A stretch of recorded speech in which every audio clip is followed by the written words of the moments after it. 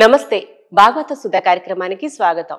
భాగవత సుధలో మరికొన్ని విషయాలు తెలుసుకుందాం. మనం సాహితీవేత్త గిరిజా మనోహర్ గారు మన స్టూడియోలో ఉన్నారు. ఆయన అడిగి మరికొన్ని విషయాలు తెలుసుకుందాం. నమస్తే సార్. నమస్కారం సార్ ఇప్పుడు ప్రథమ స్కందంలో అశ్వత్థామ గురించి ఏమైనా వివరణ చెప్తారా? కొంచెం. అసలు భాగవతంలో ప్రారంభమంతా భారత కథలతో జరిగింది. అది విశేషం. ఎందుకంటే భగవంతుని గుణగానం చేయమన్నారు కదా ఇవన్నీ ఎందుకు అంటే ఇది పూర్వరంగం ఉండాలి. అసలు ఈ మార్గంలోకి రావడానికి కారణం ఏంటి. ముందుగా అశ్వత్థామ భారతలో యుద్ధం జరుగుతుంది. ఇక్కడ ఒక వచనం రాశాడు పోతన్న. ఏమంటాడంటే అంటే ఇది మనకు తెలుసు పరీక్షిన్ మహారాజుకు శుకయోగి చెప్తున్నాడు. అవును. పరీక్షిన్ మహారాజు అభిమన్యుని కుమారుడు. అభిమన్యుడు అర్జునుని కుమారుడు. సరే పరీక్షిత్తుకు ఒక శాపం వచ్చింది అనుకున్నాం మనం. ఆ శాపం కారణంగా ఆయన భాగవతం విని తరిద్దామని ఏడు రోజుల పాటు అందుకని భాగవత సప్తాహం అని చేస్తుంటారు. పరీక్షిత్తు ఏడు రోజులు విన్నాడని మనం కూడా ఏడు రోజులు వినాల్సిన అవసరం లేదు. కానీ దాన్ని ఒక పుణ్యకార్యంగా చేశారు దాన్ని. ఏడు రోజులు భాగవత సప్తాహం అని. ఆయన వినడానికి ఏడు రోజులు. తర్వాత ఆయన దర్శకుడు కాటు వేస్తాడు ఆయన మోక్షానికి అది వేరే విషయం. అయితే అప్పుడు పరీక్షిన్ మహారాజుకు ఒక విషయం చెప్తుంటాడు సుఖయోగి. అది ఏమంటున్నాడంటే కృష్ణ కథోదయంబు చెప్పెదా అని చెప్పి నీకు కృష్ణుడు దానికి సంబంధించిన విషయాలు చెప్తా అని చెప్పి కౌరవ దృష్టద్యుమ్నాదుల యుద్ధంబున వీరులైన వారు స్వర్గంబునకు ఉమ్, కౌరవులకు పాండవులకు యుద్ధం జరిగింది. కౌరవుల పక్షంలో కొన్నాళ్ళు భీష్ముడు సర్వసైన్యాధ్యక్షుడుగా ఉన్నాడు. ఆయన మరణించారు. అంటే ఆయన మరణించడం కాదు ఆయన అపశయ్య మీద పడిపోయాడు. ఆయనకు స్వచ్ఛంద మరణం ఉంది. కాబట్టి ఉత్తరాయణం వరకు ఉన్నారు ఆయన. తరువాత ద్రోణాచార్యుడు స్వచ్ఛంద మరణం అంటే ఆయన ఆయన ఎప్పుడు కోరుకుంటే అప్పుడు చనిపోతాడు. ఓహో తండ్రి వరం ఇచ్చి ఉంటాడు ఆయనకు అందుకని ఆయన దక్షిణాయనం అప్పుడు యుద్ధం జరిగినప్పుడు. ఉత్తరాయణం వచ్చినాక చనిపోయారు. అట్లా అది. అది ఒక్క భీష్ముడికి మాత్రమే ఉంది. సరే ఆయన యుద్ధం చేయడం లేదు. పది రో పద్దెనిమిది రోజుల యుద్ధం అది. పది రోజులు ఆయన యుద్ధం చేశాడు. తరువాత సర్వసైన్యాధ్యక్షుడు ద్రోణాచార్యుడు అయ్యాడు ద్రోణాచార్యుడు మరణిస్తాడు. దానికి ఒక ఒక విషయం ఉంది మనకు. ఆ అశ్వత్థామ హత కుంజర ఆయన ఎట్లా చనిపోతాడు అంటే ఈ కొడుకు ఆయనకు కొడుకు మీద విపరీతమైన ప్రేమ. కాబట్టి ఒక ఏనుగును భీముడు చంపేస్తాడు. దాని పేరు అశ్వత్థామ. అశ్వత్థామ హత అని ఆయన ఎవరు చెప్పినా నమ్మడు. కానీ ధర్మరాజు చేత అనిపిస్తాడు కృష్ణుడు. కుంజరహ అనమంటాడు. ఆయన అబద్ధాలు చెప్పడు కదా. ఆ కుంజరహ వినపడనియ్యాడు కుంజరహ అంటే ఏనుగు. అప్పుడు దృష్టద్యుమ్నుడు అంటే ద్రౌపది కంటే పెద్దవాడు. ఆయన పాండవుల సేనానాయకుడు. భీష్ముడు అక్కడ సర్వసైన్యాధ్యక్షుడు. ఇక్కడ దృష్టద్యుమ్నుడు సర్వసైన్యాధ్యక్షుడు. దృష్టద్యుమ్నుడు మొత్తం యుద్ధమంతా ఆయనే. అంటే ఇక్కడ చాలా మంది చనిపోయారు భీష్ముడు చనిపోయాడు ద్రోణాచార్యుడు చనిపోయాడు కర్ణుడు చనిపోయాడు శల్యుడు కూడా తీసుకుంటాడు అందరూ చనిపోతారు. కానీ దృష్టద్యుమ్నుడు ఉంటాడు. అది చెప్తున్నాడు ఇక్కడ. కౌరవ దృష్టద్యుమ్నాదుల యుద్ధంబున. ఎందుకు దృష్టద్యుమ్నితో యుద్ధం అంటే ఇక్కడ సర్వసైన్యాధ్యక్షుడు దృష్టద్యుమ్నుడు. పాండవులు అర్జునుడు కాదు సర్వసైన్యాధ్యక్షుడు దృష్టద్యుమ్నుడు. ఇతడు ద్రుపదుడి కుమారుడు. అంటే ద్రౌపది కంటే పెద్దవాడు. దీనికి మామూలుగా భారతంలో కథ ఉంది. ద్రోణాచార్యుడిని కొద్దిగా అహంకారం చేత అవమానిస్తాడు. దృష్ట ద్రుపదుడు. వాళ్ళిద్దరు ఒక చోట చదువుకొని ఉంటారు. కొడుకుకు ఏదో పాలు కావాలని అడగడానికి గోవులు అడగడానికి వస్తే నీవెవరు? నువ్వు పేద బ్రాహ్మణుడివి. నీకి నాకేం సంబంధం? ఇట్లా ఏదో అవమానిస్తాడు. అప్పుడు ఆయన విద్య నేర్పించి అర్జునుని చేత అతన్ని పట్టుబడిస్తాడు. కాళ్ళ మీద వేసుకుంటాడు. అది కథ. అయితే బ్రాహ్మడైన వాడికి అట్లాంటి కోపం పనికిరాదు కానీ ఉంది ఆయన. ఆయనకు రాజసం కూడా ఉంది. కాబట్టి ఆయన ఉన్నాడు. అప్పుడు ద్రుపదుడు తపస్సు చేసి అర్జునుడిని ఏం చేయలేడు. కాబట్టి అర్జునుడు పాదాల మీద పడాలంటే అల్లుడు కావాలి. కాబట్టి అర్జునుడి వివాహం చేసుకోవలసిన కన్య ద్రోణాచార్యుని చంపగలిగిన కుమారుడు పుట్టాలి అని తపస్సు చేస్తాడు. ఇప్పుడు ఆయనకు ద్రౌపది తర్వాత ఈ దృష్టజ్యుమ్నుడు పుడతాడు. అంటే వాడు పుట్టింది వీడిని చంపడానికే. అప్పుడు ఎప్పుడైతే ఆయన అస్త్ర సన్యాసం చేస్తాడో ద్రోణుడు అప్పుడు దృష్టజ్యుమ్నుడు పోయి ఆయన అందరు ఆపుతారు. అది ఆయన ఏదో వినడు పోతాడు నరికేస్తాడు. ఆయన చనిపోతాడు. తర్వాత కర్ణుడు. కర్ణుడు చనిపోయింది మనకు తెలుసు. ఇట్లా అందరూ చనిపోతాడు ఇక్కడ మాత్రం దృష్టద్యుమ్నుడు ఉంటాడు. అయిపోయిన తర్వాత దుర్యోధనుడికి తొడలు పగలగొడతాడు భీముడు. ఏదో దాని మీద గొడవలు ఉన్నాయి. అంటే గదాయుద్ధము ఇంతవరకే ఉండాలి కదా అని బలరాముడు ఆక్షేపిస్తే కృష్ణుడు అంటాడు వాళ్ళన్ని న్యాయమైన యుద్ధాలే చేశారా అదంతా వేరే విషయం ఆయన ఒక సరోవరం దగ్గర పడి ఉంటాడు అప్పుడు అశ్వత్థామ సర్వసైన్యాధ్యక్షుడిగా నియమింపబడతాడు ఉమ్. ఆయనంతకు ఆయనే నియమించుకుంటాడు పోయి నీకు నేను పాండవులను సంహరించి తీసుకొస్తానని వెళ్తాడు రాత్రి. పెద్ద తపస్సు చేస్తాడు ఒక పెద్ద ఆయుధాన్ని పొందుతాడు శక్తి చేత. పోయి అది పాండవులను వీడు హతమారుస్తాడు అశ్వత్థామ అని తెలుసుకున్న శ్రీకృష్ణుడు పాండవులను తీసుకొని ఎటో వెళ్ళిపోతాడు. తెలుసా ఆయన. అప్పుడు ఐదుగురు చీకటి ఉంటుంది. ఉప పాండవులు పడుకొని ఉంటారు. ద్రౌపదీదేవి కుమారులు వాళ్ళు.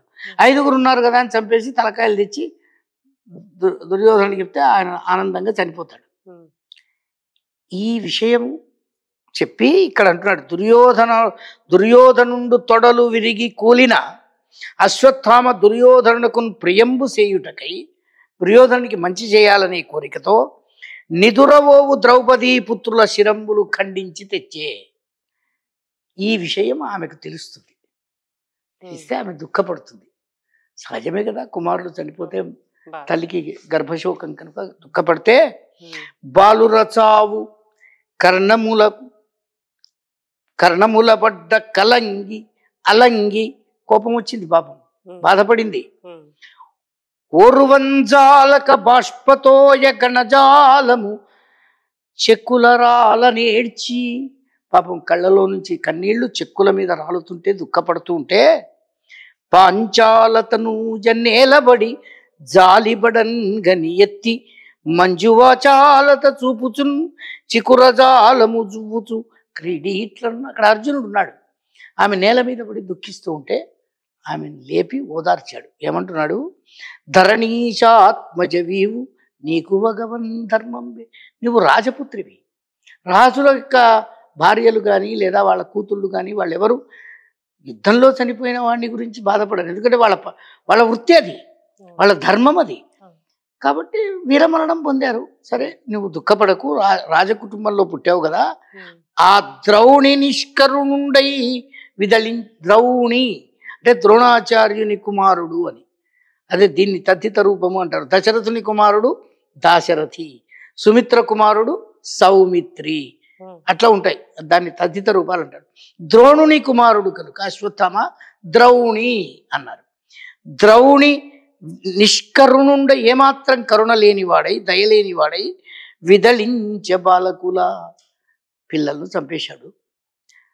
మద్గాండీవ నిర్ముక్త భీకర బాణంబుల నేడు వాని శిరమున్ ఖండించి నే తెత్తు నువ్వేమి దిగులు పడకు.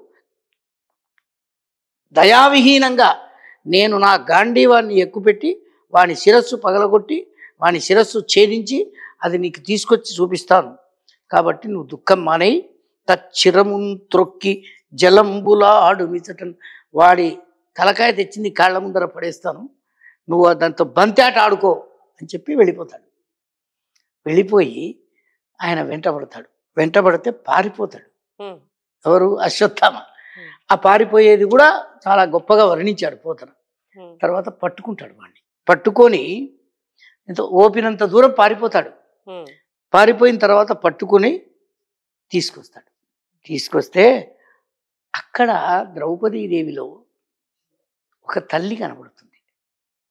తల్లికి తన పిల్లలు ఎంత దుర్మార్గులైనా వాళ్ళని ఏదైనా బాధ పెడితే తల్లి మనస్సు అది స్త్రీ తత్వంలో ఉండేటువంటి ఒక చంపాలి అనుకుంటుంది అనుకుంటాడు. కానీ ఆమె అడ్డుకుంటుంది. ఇక్కడ నేను గర్భశోకం అనుభవిస్తున్నాను నా కొడుకులు చనిపోతే. అక్కడ గురుపత్ని కూడా గర్భశోకం అనుభవిస్తుంది కదా వీడు చచ్చిపోతే. అని అక్కడ ఈయనను తిడుతుంది. నీకు నీకు ఏం అవసరం కలిగిందని. ఉపపాండవులను ఎందుకు చంపావయ్యా? ఏమంటుందంటే ఆ విషయాల్ని చాలా మామూలు ధోరణిలో వాడు పాపం బాధపడుతున్నాడు భయపడుతున్నాడు. చంపేస్తాడేమో అర్జునుడు అని. భయపడుతుంటే అక్కడ ఈమె అతన్ని అంటుంది. ఏమంటుందంటే ఒక విశేషమైన పద్యం చెప్పాడు. ఏమంటున్నాడు? వాళ్ళు నీకేం అపకారం చేశారు? ఉద్రేకంబునరారు శస్త్రధరులై ఎవడైనా యుద్ధంలో నీ మీద కోపంతో ఆయుధాలు పట్టుకొని వస్తే వాడిని చంపినామంటే అర్థం ఉంటుంది. వాళ్ళు పడుకున్నారయ్యా. అందులో నీ మీద యుద్ధం చేసే వీరులు కాదు వాళ్ళు. వీరులే. కానీ ఉద్రేకంబునరారు శస్త్రధరులై ఆయుధం ధరించిన వాళ్ళే నీ వెంట రారు యుద్ధావని లేరు. పోని యుద్ధరంగంలో ఉంటే ఎవరితోనో పోరాడుతుంటే వాళ్ళని రక్షించడం కొరకు వీళ్ళని చంపేశాను అనొచ్చు. నిద్రపోయినారు వాళ్ళు. యుద్ధ యుద్ధావని లేరు. కించిద్రోహం బును నీకు చేయరు పోనీ నీకేమైనా అపకారం తలపెట్టారా? ద్రోహం చేశారా? కించిత్తు అంటే కొంచెం కొంచెం కూడా నీకేమీ అపకారం చేయలేదే. బలోత్సేకంబుతో చీకటిన్ భద్రాక. ఇక్కడ నీ బలం చూపించి చీకట్లో చంపేసేవాళ్ళని వాళ్ళు భద్రాకారుల పిన్న పాపల రణప్రౌఢ క్రియాహీనులన్ నిద్రాసక్తుల సంహరింపనకట. నీ చేతులెట్లాడెను? ఈ చేతులెట్లాడననే మాట జనంలో ఉంటుంది. నీకు చేతులు ఎట్లా వచ్చినాయి అంటారు చేతులు రావు. అదొక నుడిక. అదే. పద్యంలో పొదగడం వల్ల పోతన ఒక ఒక తల్లి యొక్క ఆవేదన. అది చేతులు ఎట్లా వచ్చినాయా నీకు? వాడిని కొట్టడం చిన్నపిల్లవాడు వాడు. అంటాం కదా మనం. అదే మనసు ఎలా ఆ, వచ్చింది అనే మాటకి ఆ, ఆ చేతులు ఎలా మాటకు వచ్చినాయి? ఇట్లాంటివి నుడికారాలు అని ఉంటాయి ప్రతి భాషలో. ప్రతి భాషకు ఉంటాయి. ఇవి అనువాదాలకు లొంగవు. ఇప్పుడు కడుపు మండిపోతుంది వాడిని చూస్తే నాకంటాం. స్టమక్ ఈజ్ బర్నింగ్ అంటే అది బాగుండదు. అది ట్రాన్స్లేషన్స్ అనువాదాలకు లొంగవు. నుడికారాలు ఇవి వేరు ఇవి ఏ భాష ఆ భాషకే. ఇప్పుడు మనం మామూలుగా బస్సుల్లోనో రైళ్ళలోనో చూస్తుంటాం పొగ తాగరాదు అని. పొగ తాగడం. పొగ పీల్చరాదని ఉండాలి కానీ లేదు. కాబట్టి ఇవి జనంలో నుంచి వస్తాయి. ఇవి ఎవడు తయారు చేయడు తయారు చేసినవి ఎవడు ఉపయోగించడు. ప్రజల్లో నుంచి వస్తాయి. వానికి ఎప్పుడో కోపం వచ్చింది ఏం జరిగిందో వాడు అన్నాడు ఆ మాట. అది వ్యవహారంలోకి వస్తుంది. అట్లాగే ఏమేముంటుంది నువ్వు వాళ్ళను భద్రాకారులు. చాలా క్షేమంగా ఉన్నారు. పిన్న పాపలు చిన్నవాళ్ళు అన్నది. పెద్దవాళ్ళే వాళ్ళు యుద్ధం చేస్తున్నారు. కానీ తల్లికి ఎంత పెద్దవాళ్ళైనా తల్లి కదా ఆమె. తల్లి మనస్సును ఈ ఒక్క మాటతో పిన్న పాపలు అని పోతన ప్రయోగించడం వల్ల చిన్నపిల్లలు వాళ్ళకి ఏం తెలుసు? మనం మన వాడు ఎంత తప్పు చేసినా ఏ వాడు చిన్నవాళ్ళేవయ్యా అంటాం. వాడు పెద్దవాడు అయి ఉంటాడు. కానీ మనకు తల్లికి ఎప్పుడు కూడా తల్లి మనసు అట్లాంటిది కాబట్టి ఆ స్త్రీ హృదయాన్ని అర్థం చేసుకొని చెప్పిన పద్యాల్లో ఇది ఒకటి తిక్కన కూడా ఈ ఘట్టం రాశాడు భారత భాగవత్ భారతంలో అది ఇంకో రకంగా ఉంటుంది. కానీ ఇక్కడ పోతన పూర్తి సామాన్య స్త్రీ యొక్క హృదయాన్ని ద్రౌపది ద్వారా ఆవిష్కరించాడు. వాళ్ళు అక్కడ పడుకొని ఉన్నారు. రణప్రౌఢ క్రియాహీనులన్నని కూడా అన్నది. వాళ్ళకేం యుద్ధం బాగా తెలుసా? యుద్ధం చేస్తున్నారు వాళ్ళు కూడా పాండవుల పక్షాన. తెలియకపోవడం కాదు. కానీ ఈమె మనసులో వాళ్ళకి ఏం తెలుసు యుద్ధం సంగతి? రణ ప్రౌఢమైన రణం చేయడంలో వాళ్ళు క్రియాహీనులు చేయలేరు. అట్లాంటి వాళ్ళను నువ్వు చంపావే. ఇది ఎంత ప్రమాదమయ్యా. పైగా నిద్రాహారు నిద్రాకారు నిద్ర నిద్రపోతున్నారు. వాడిని లేపి కొట్లాడినా బాగుండేది. కానీ నిద్రపోతున్న వాళ్ళను సంహరింపనకట నీ చేతులు ఎట్లా ఆడెను? అని చాలా బాధపడుతూ వాడిని ఉపాలంబిస్తే అర్జునుడికి బాగా కోపం వస్తుంది. వచ్చి ఆమె బాధపడుతుంది. ఏమంటుంది? పుత్రశోక జనితాకుల భార విషణ్ణ చిత్తనై పొక్కుచునున్న భంగి నిన్ను పోర కిరీటి నిబద్దు చేసి నేడిక్కడ కీడ్చి తెచ్చుట సహింపనిదై. భవదీయ మాత నేడెక్కడ ఇట్టి శోకమున ఏ క్రియ నేర్చుచు పొక్కుచున్నదు ఇక్కడ ఆమెకు వెంటనే ద్రోణుడి భార్య గుర్తొచ్చింది. ఒక తల్లిగా నేను నువ్వు నా కుమారులను చంపితే బాధపడుతున్నాను. భర్త నా భర్త అయిన అర్జునుడు నిన్ను యుద్ధంలో నిన్ను గాంధీవంతో బంధించి బాధించి బంధించి ఈడ్చుకొచ్చాడు. బాధపడుతుంది. అక్కడ ఆ తల్లి ఎంత బాధపడుతుందో కదా. అంటే వెంటనే ఆమెకు ఒక స్త్రీ హృదయం. వాడు తన కొడుకులను చంపాడు వాడి మీద కసి లేదు. ఏమంటుంది? పుత్రశోక జనితాకుల భార విషన్న చిత్తనై. నా మనస్సు పుత్రశోకం అనే భారంతో బాధపడుతూ ఉంది. ఇదే బాధ ఇప్పుడు మీ తల్లికి ఉంటుంది కదా. కాబట్టి భవదీయ మాత నీ తల్లి ఏం కష్టపడుతుందో నేడెక్కడ ఇట్టి శోకమున? ఇది ఇట్లా ఆలోచన చేయడం అనేది ఆమెలో ఉన్నటువంటి స్త్రీ హృదయానికే కాక ఆమె ఔన్నత్యమైన గుణానికి. వాడు చంపాడు నా కొడుకులను వీని చంపు అని అనలేదు. వాడు పట్టుకొచ్చాడు చంపడానికి అని అర్జునుడు పట్టుకొని వచ్చాడు. కానీ అర్జునుడిని వారించలేదు ఇంకా వారిస్తుంది. ఏమంటుంది? ద్రోణునితో సుఖింబడక ద్రోణ కుటుంబిని ఉన్నదింట. ద్రోణ కుటుంబిని అంటే ద్రోణాచార్యుడి యొక్క భార్య. కుటుంబిని అంటే స్త్రీ కుటుంబంతో పెద్ద ఆమె. ద్రోణుడు చచ్చిపోయాడు. భర్త చనిపోయాడు. ఆ దుఃఖంలోనే ఉంటుంది. ఇంకా వాడు మొన్న మొన్ననే కదా చనిపోయింది. యుద్ధం అప్పటికి దాదాపు ప- పద పదిహేనో రోజు పదహారో రోజు ఆయన చనిపోయాడు.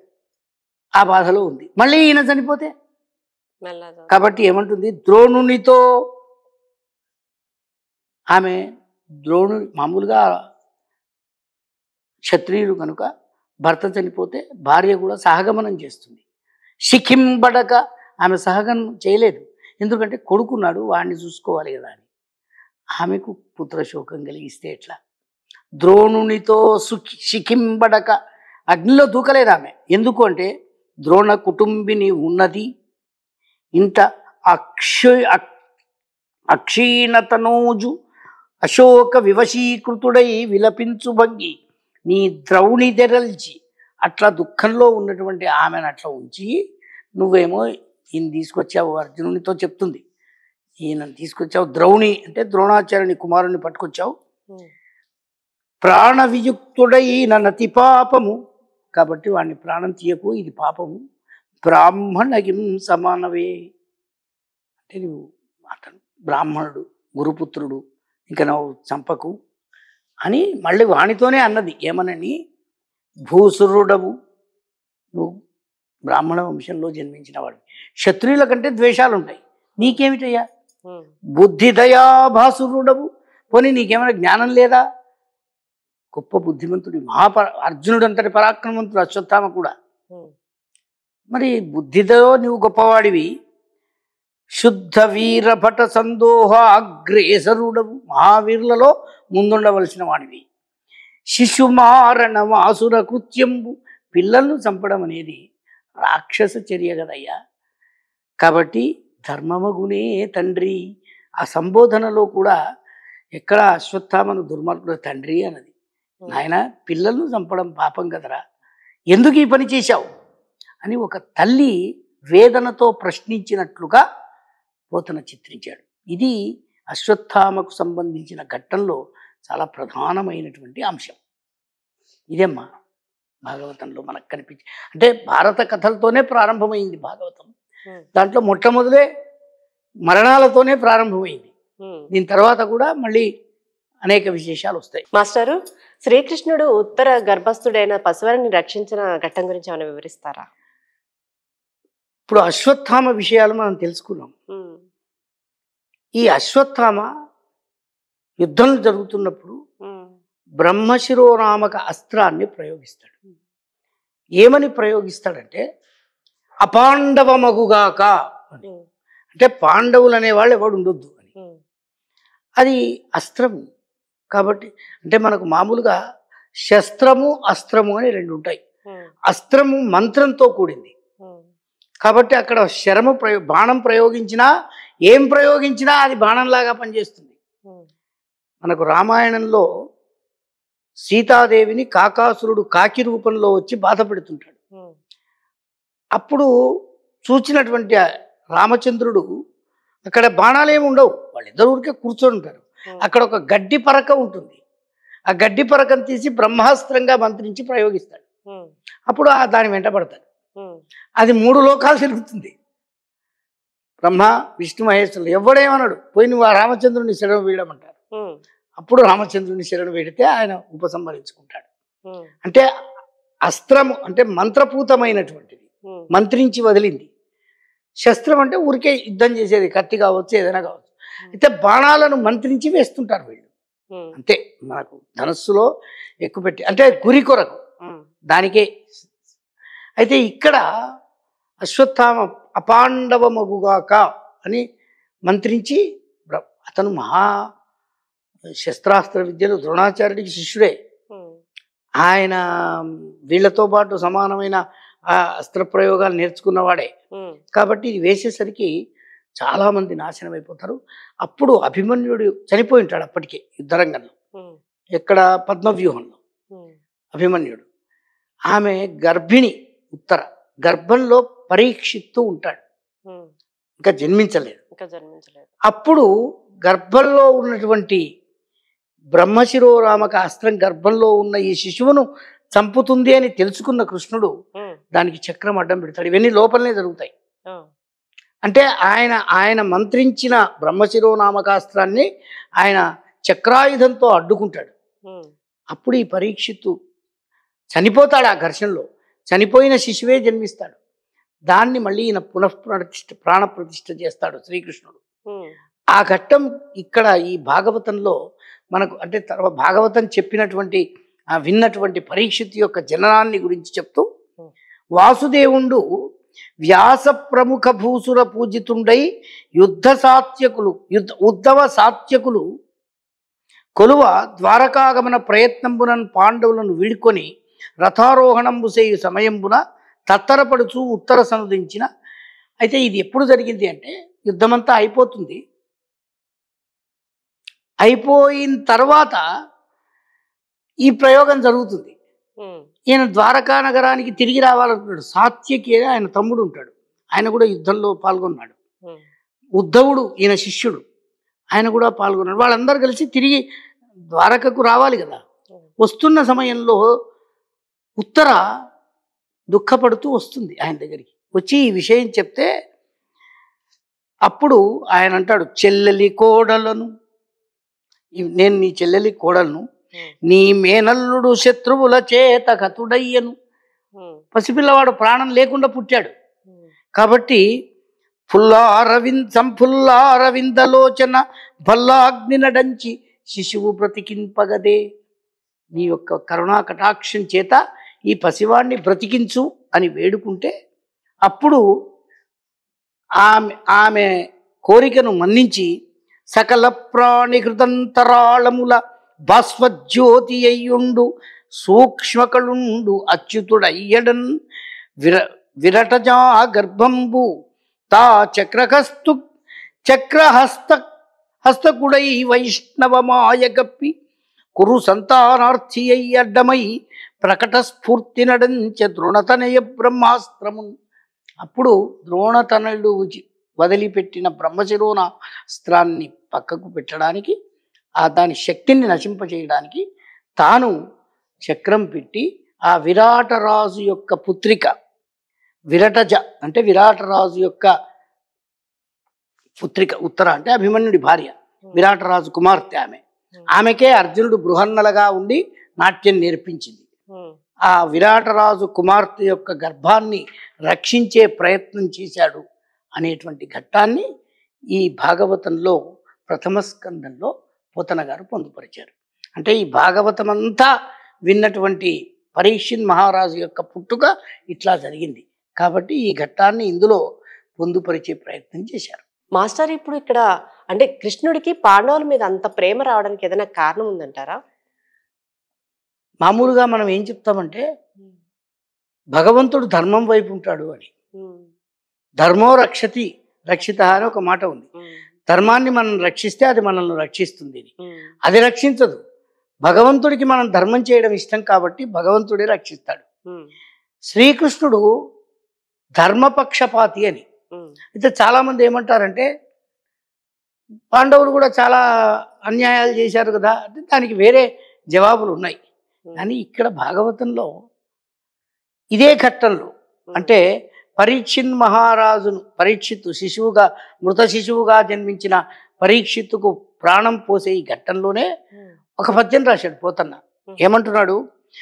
తన సేవారతి చింతగాని పరచింతాలేశముల్లేని సజ్జనులన్ పాండుతనూజులన్ మనుచు వాత్సల్యంబుతో ద్రోణ ద్రోణనందను బ్రహ్మాస్త్రము నడ్డు పెట్టే అడ్డ పనిచన్ దైత్యారి సర్వారి సాధన నిర్వక్రము రక్షితాకల సుధా సుధాంధశ్చక్రమున్ చక్రమున్.